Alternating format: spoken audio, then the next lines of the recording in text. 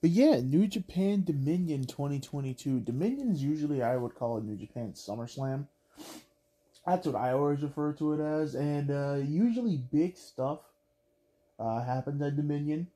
Um, if you remember, that's where Kenny Omega actually beat Okada for the World IWGP World Title. Man, Dominion's had some some big stuff here, and let's get right into it. We had breaking news here, but uh, we're gonna go through the whole card here. I'm only gonna go into detail into the matches I really, really liked. So, uh, United Empire versus Taguchi, Master Wato, and Tenzan. Uh, nothing much to say here, just simple tag team match, fun stuff.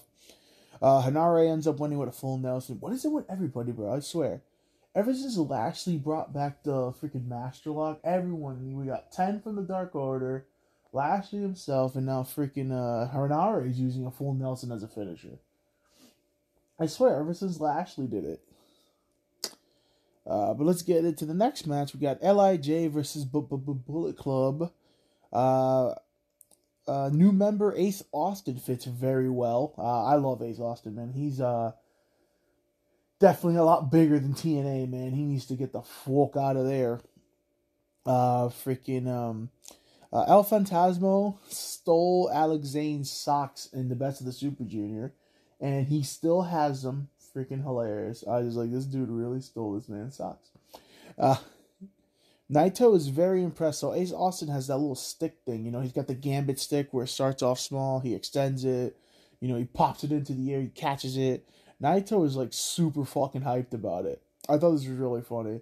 He just keeps looking and he's like, oh my god, like, how does this work? So, him, uh, Hiromu, and they're all trying to figure it out how it works. Uh, then the match gets started finally. Uh, freaking, um, uh, Code Breaker, and then Ishi ends up, Ishi. oh my god, uh, Ishimori, uh, ends up holding on to the face uh, El Phantasmo then hits a moonsault while they're still in the codebreaker position. That was really cool. Uh, the famous El Phantasmo backbreak where this man does a million flips, hypes it up, gets the crowd all crazy, does the fucking uh, the back rake. Uh, Ace Austin ends up pulling up another magic stick. I I love saying that. He pulls out another magic stick and uses that to rake Naito's back. That had to hurt. Uh, fucking the whole time. I think it was Phantasmo goes out there and he's just like, look how look how sharp that stick was. Look how sharp that was. Because you know they're just like, oh, he he raked Naito's back. That shit must have hurt with the little stick. Uh, freaking let's see. Uh, Ishimori and Hiromu have some really nice back and forth here. I can't wait for their next match. I still can't believe he tapped out fucking uh, Desperado clean. It's still crazy to me. Uh, Ishimori getting a big push. Uh, good back and forth here. Sudden death to Bushi by um, uh, El Phantasmo. Uh, gets up saved. Uh, tornado kick combo into a burning hammer by Phantasmo. That was really cool by uh, Ace Austin and El Phantasmo. Uh, El Phantasmo hits a see you later, and then he gets the win. A clean win here for Bullet Club. I thought because they had Naito with him, I thought for sure Lij was going to win, but no. They actually didn't. That was uh, very, very, very surprising. Uh, but this was fun. We get the random fucking match of Luke Gallows versus Toru Yano, and I was in. As soon as I saw his matchup, I'm like, what the fuck? I'm in. um, he keeps spraying Gallows with sanitizer. Uh, Gallows gets really pissed off, takes off the sanitizer bottle, and starts just drenching it all over him. Uh, Yano is fucking around. He keeps pulling on his beard. Uh, he keeps slapping him on the bald head. He's chasing him around. Gallows finally catches him, beats him up for a little bit, hits the Gallows pole, and somehow Yano kicks out. Even the commentary team were just like, "Isn't that his finish?" Like they were so confused. They're just like, "Why the fuck does this dude just kick out the Gallows pole?" Uh, yeah. um, freaking Yano then gets a low blow in the roll up, and the fucker actually, I swear, this guy, man, Toru Yano is the king of uh, sneaking in uh, wins right there, man. I, I love this guy. He's fucking hilarious. Suzuki-gun, which is hard to Torture. Um, uh, freaking shock arrow, uh, double arm wrapped pile driver by Show for the win. Great move. House of Torture gets the win. Uh, you you know how the House of Torture stuff goes. You know how it goes. Uh, my favorite tag team here, Great O Cobb. Uh, that's uh, Jeff Cobb and Great-O-Khan versus Bad Luck Fale and Chase Owens. I completely forgot Bad Luck Fale and Chase Owens were the IWGP Tag Champions because I thought Great-O-Khan never lost them. Uh, but Tour of the Islands win, new tag team champs once again, how it should have been from the start. A okay with that. Uh, we get a big match here. We get Goto versus Tanahashi for the winner faces Jon Moxley at the AEW World Championship, the interim. Uh, Goto uh, gets a big clothesline on the outside. They're taking a lot of it to the outside. Uh, Goto hits a spin kick in the corner, then a bulldog combo for a near fall. Uh, Goto gets up Tanahashi, hits a beautiful Saito suplex, tries to float over and hit another one, but Tana ends up turning it into a dragon screw. Tanahashi ends up taking control here, working on Goto's leg. Uh, Goto fights back, powers out of that, uh, hits a Ushigoroshi for a near fall. Uh, he tries to go for another Ushigoroshi, but Tana, you know, he does the thing where he can hit a sling blade out of nowhere. He ends up hitting a sling blade out of the Ushigoroshi. That was fucking cool.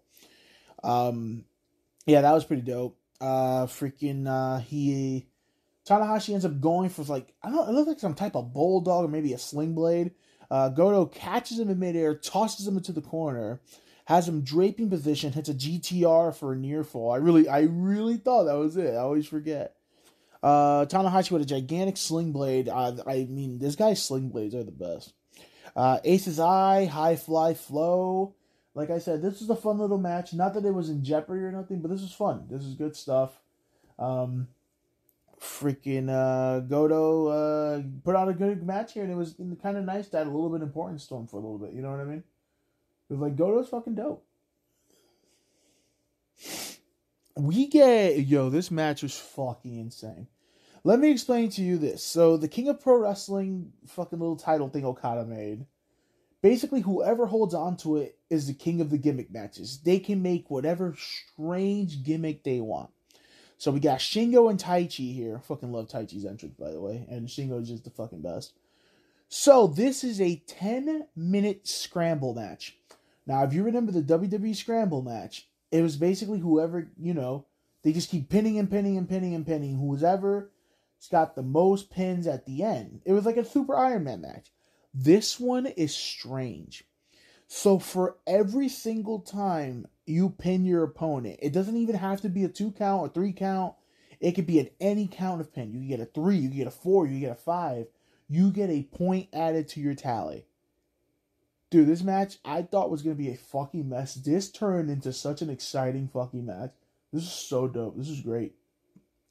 So, 10 minute scramble. Points added. Remember, every single time the referee hits the mat while someone's getting pinned, they get a point. Guys going right at it right away, 100 miles per hour. Winner is the one with the most pin points, I, guess you want to call them.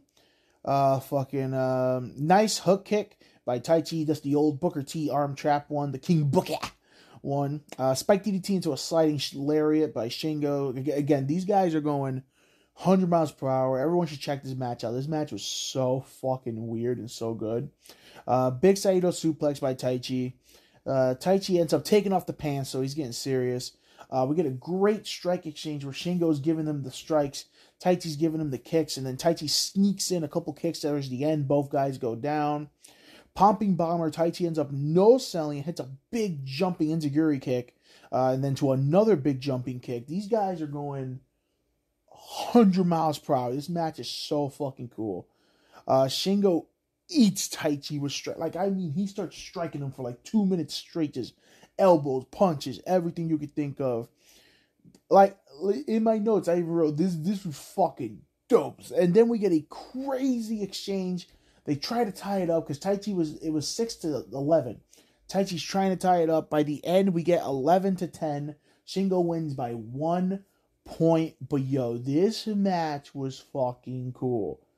I kind of like how they kind of let those guys make their own little gimmick things. Like whoever is the uh, whatever the king of pro wrestling has the little trophy, they dead ass get to make their own kind of crazy gimmick match. Like I know Okada was doing like fatal four ways. Like it's a cool thing because New Japan doesn't really do gimmick matches, so it's kind of cool to have them at least kind of be like, hey, whoever has this thing, go for it. Like I didn't think Shingo would come up with this like little cool idea, so I'm cool with Shingo doing more cool stuff like this. I thought it was really dope. Uh, we get a surprisingly really good match here. I'm telling you, man, there is a difference between Karl Anderson and Impact Wrestling and WWE and then New Japan. We get Karl Anderson one on one with Tama Tonga for the Neverweight Open title. Uh, it's the battle of the gun stuns right here. Uh, Tama waits for nobody, attacks Karl right in his entrance. I love Karl's theme, by the way. That shit heat. Uh, the match going crazy. Uh, fucking Tama and and Karl are going at it at the uh the entrance way. I don't know. I'm telling you, Tama feel like this man was legitimately fucking pissed off. Yo, this dude clobbered Karl Anderson anytime he had a chance. His strikes were on point. He fucking potatoes the shit out of Karl near the entranceway, where Karl falls off the entranceway and then falls off the freaking um the steel ramp, crashes through. It looked like he rocked his shit. Oh my god. It was crazy. Uh, we get a gun stun on the rope by Karl. That was really cool while Tama was trying to get back in. Uh, Luke Gallows gets involved, hits a choke slam on the apron to Tama Tonga. Uh, Tama throws Gallows headfirst into the pole. Ah, Gallows pole. So he, takes him out. Stinger splash by Tama. Uh, Karl no sells into a spine, a beautiful spine buster by Karl. Uh, Tama with the head shrinker DDT, his old finish. Uh, gets a near fall. Uh, Karl fights back with some nice European uppercuts. Karl has some of the best European uppercuts. Him and uh, Zack Sabre Jr. Man, uh, this this was legit old school Karl Anderson back from the freaking uh, final G one Shinsuke Nakamura shit. Like this was Karl going ape shit, bro. Uh, two puns right there. Uh, so head shrinker DDT. Uh, Karl fights back with a beautiful Liger bomb. Usually he runs, but he just dumps his shit right there. Uh, Tama slides out of that one after with a Tonga twist for a near fall.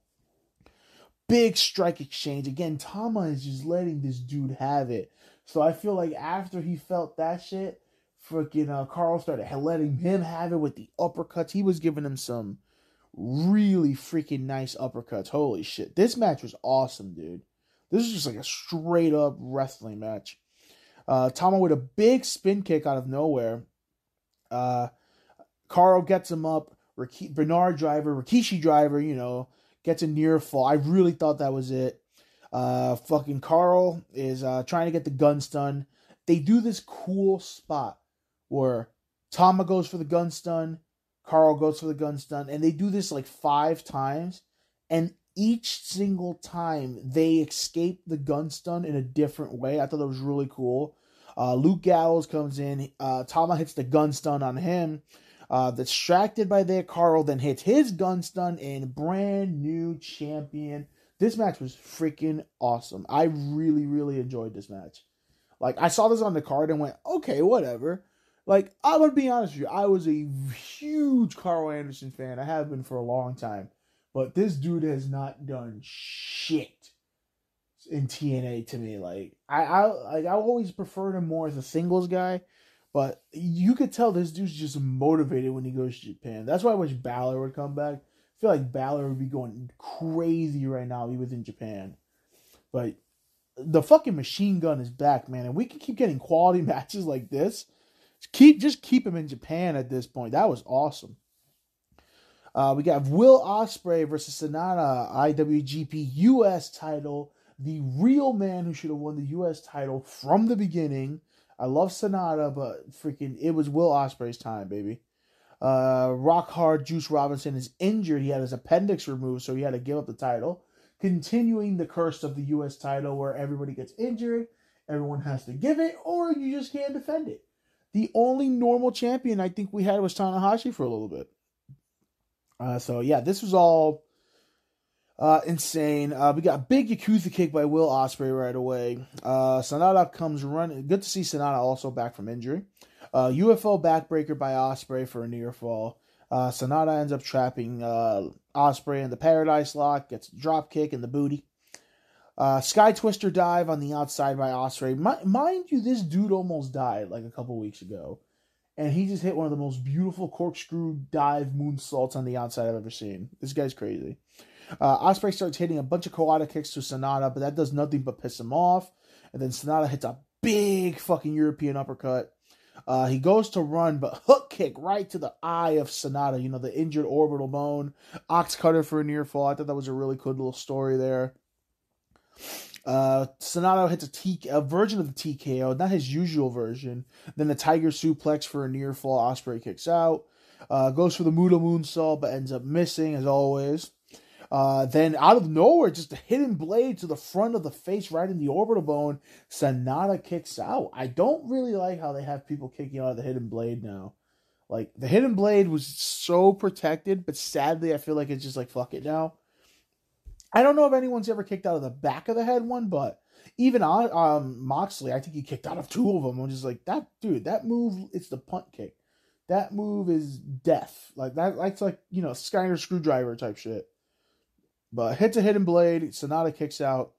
Uh, Sanada goes to hit the ropes. Uh, Ospreay pops him up into a forearm again, right into the eye. Uh, hits the hidden blade to the back of the head. Uh, could definitely end it, but picks him up. Stormbreaker. We haven't hit him scenes hit Stormbreaker in a while. Hits Stormbreaker, brand new IWGP US champion. But you see, Juice still has the physical belt. So we go back to the screw job of Will Ospreay where he says he's being fucked.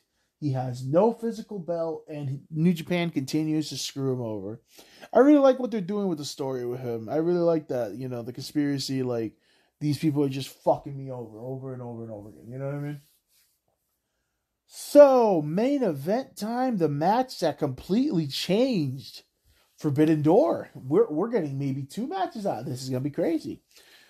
So Okada versus Jay White, IWGP World Title. Okada's had a 200 and something day run. He's pretty much been unstoppable.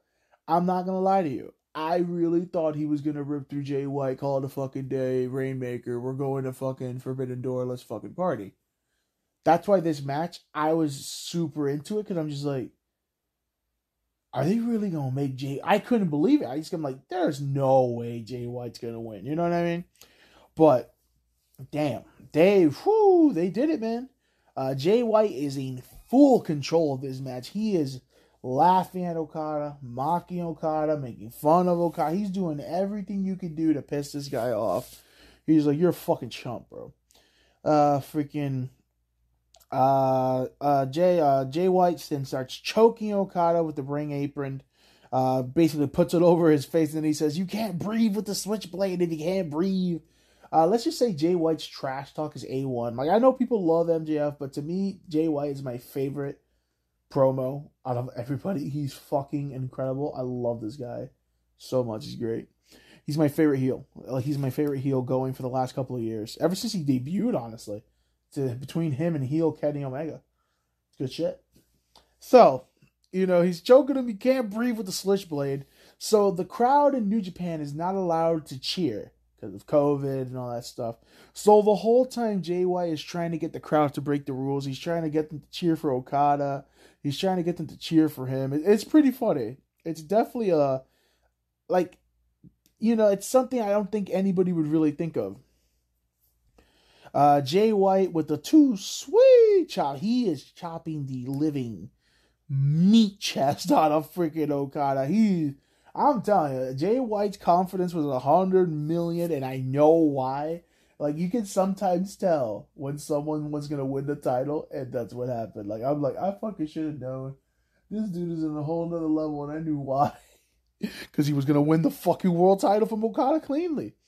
Uh, fucking uh, spoiler alert. So he's chopping the fuck of him, feeling himself way too much. Okada finally gets him on the outside. They start tussling for a little bit. Then Okada hits his nice running big crossbody. And I'm like, oh, Okada only does this for the big, big world title matches. Uh, suplex on the steel bear. Oh, Jay White. Oh my god, he killed Okada in the corner of the barric, uh, the corner of the steel barricade. He hits a suplex. oof. Uh, then he uh, two sweets Okada's nose while he's on the floor after the freaking suplex on the on the on the guardrail. I, I swear to God, I love this guy. He's fucking great. Uh, Blade Buster for a near fall. That's his um twisting brain buster. Uh, complete shot, and usually he goes right into the deadlift German. But boy hits the complete shot, starts flexing, takes his time, hits the deadlift suplex, hits the double bicep, and I'm just like, yo, this guy, they should never tell this man he's winning the title. this guy was flexing so hard. Uh, he does one of my favorite things, and not a lot of people do. It's a very dangerous fucking maneuver. He takes Okada near the rope and he hits a Saito suplex from the inside of the ring to the outside. Uh, Okada ends up hitting his rib because that's the story. He's working the ribs too. Uh, Okada with a top rope shotgun drop kick. Uh, then fucking sees Jay White getting up. He finally makes him off and hits a big running shotgun drop kick again. Uh, top rope elbow drop by Okada. Freaking Okada's up trying to fight back the best he can. Jay White ends up taking him down, hits a reverse dragon screw like Tanahashi. While Tanahashi's outside commentating, he looks right at him while he's doing it. Hits another reverse dragon screw and locks in the Tanahashi tap out, which is now the Okada tap out. Uh, after he's done with that submission hold, he's looking at Tanahashi, talking trash the whole time. This one's for you, baby. This one's for you. I love this guy. Uh, turns it into the cloverleaf while also staring at Tanahashi. That's Tana's move right there. Uh, Okada ends up fighting back. Uh, Jay White's fleeing himself way too much. He hits the ropes. Okada finally hits the big, big drop kick. Uh, ends up hurting his knee on the way down, though. Uh, Gedo slides the chair in. Okada catches it, throws the chair away, locks in the money clip. Here we fucking go. I fucking hate the money clip. He locks in the money clip. Jay White is not tapping. He I don't think he's ever tapped to the money clip. Uh, Okada hits a cool like backbreaker from the money clip while he keeps it locked in. Gedo distracts uh, then Jay White with a low blow. Uh, big strike exchange. Uh, they have a big fight over here. Okada finally starts getting pissed off. He keeps too sweet chopping him. He's not working. Uh, he ends up killing Jay with a forearm. Uh, sleeper suplex right on Okada's neck. Uh, he decides to follow it up. He goes, "Yo, look at this!" And he hits a regal plex. Okada kicks out. Uh, fucking cross arm bloody Sunday. I love the version of the bloody Sunday Jay White does. I love it. Uh, so he hits the bloody Sunday. He gets Okada up and he hits a rainmaker, keeping wrist control. Uh, Jay White hits another rainmaker. Okada ends up getting pissed off, hits his own rainmaker gets him up again, hits another Rainmaker. Uh, fucking uh, Jay White ends up dodging that. Okada catches him in the spiral tombstone, hits a spinning Rainmaker. Uh, and here we go. Okada is about to end it. He's doing the whole setup this time. Jay White ducks the Rainmaker. Then Okada ducks the Rainmaker. Then he ducks a clothesline. Then he ducks a clothesline. Then he ducks a clothesline. Uh, they're going crazy. They're going 100 miles per hour. Uh, Jay White hits the ropes. Okada catches him with another drop kick no cells, get right up. Michinoku driver for a near fall. Okada is doing the whole setup. He's about to end it, going for the Rainmaker, but fucking uh, Jay White does this cool thing where he shoulder blocks him while he drags him in for the Rainmaker. Okada tries to fight back out of that, tries to go for the Rainmaker again. Jay White hits the Blade Runner out of nowhere, and one, two, three, brand new IWGP World Champ, baby. I, I couldn't believe it. Uh, he calls out, he cuts some of the best, pro, he cuts two of his best promos. He cuts a victory promo, and then he cuts the promo backstage. It's fantastic. But I couldn't believe it. Like, I was like, get the fuck. Jay White, basically cleanly. Because, you know, you can't count the Gedo distraction too much, because, you know, it's all the time. It's like hustle torture bullshit, but not as bad yeah, this motherfucker did it. That, that I I was like, get get out of town. This dude really fucking did it. He beat Okada for the IWGP World Champion. So he basically said in a promo to Hangman, because remember, Hangman challenged Okada for the IWGP World title at Forbidden Door. So I'm like, okay, I guess Hangman fights Jay White. But Jay White then cuts a promo saying, You challenged Okada, but you're not getting no damn title shot, you bitch cowboy or whatever. So I don't know what happens now. Do we still get Hangman and Okada, which we should? It should be Lariat versus Lariat. You know, Buckshot versus uh Rainmaker. But now, who challenges Jay White? Does Jay White have a regular title defense? Does AEW, does someone from AEW challenge him? You know, he's talking a lot of shit of Kenny Omega. But to me, that would be dumb wasting Kenny on Jay White. I love Jay White, and Kenny had some good ass matches. If you bring Kenny Omega in, you have to do Kenny versus Okada. You have to, and that's the main event of the show. You know, fuck the AEW World Title, fuck the IWGP. It don't fucking matter at that fucking point. So I don't know. This was uh this was a fucking monkey wrench. We can either get two matches out of it, or I would prefer Hangman versus Jay White, and then we have uh freaking uh Okada and Kenny. I don't know. It's gonna be crazy, but yeah, that was Dominion. Uh, fun tag team matches here. Uh, definitely the surprise stealer. Honestly, I really, really like that. I love the main event. The main event was my favorite match of the show. Uh, I love Jay White. Everyone, you know, some people don't like the way Okada and Jay White do stuff. You know, the little slow build, but then they go a little nuts so crazy towards the end. I like it though. But um, Okada and Jay White was the best match, but close second was Karl and Tama Tonga, bro. That match was awesome. Will Ospreay and Sanada was nice, uh, but I felt like Sanada wasn't going at full power like he usually does. Because, you know, he is just getting back from an injury. And Shingo and Taichi was fucking dope as shit. Goto and Tanahashi was solid as fuck. And uh, yeah, uh, this was a really fun show. I thought this was a very, very fun show. Uh, great main event. Surprising ass shit. Um, I'm I'm still in awe. Honestly, I still is kind of crazy what they did. So th- this should be uh this should be a little crazy right now.